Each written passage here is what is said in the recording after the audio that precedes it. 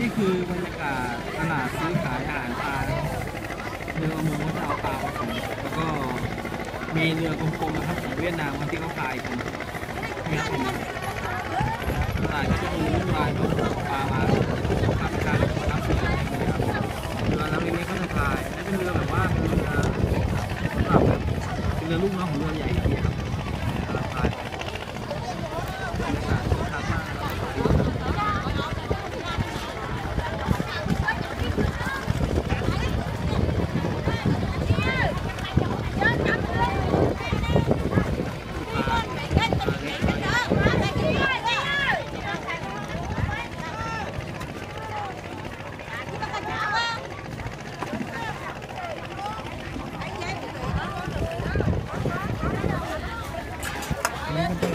林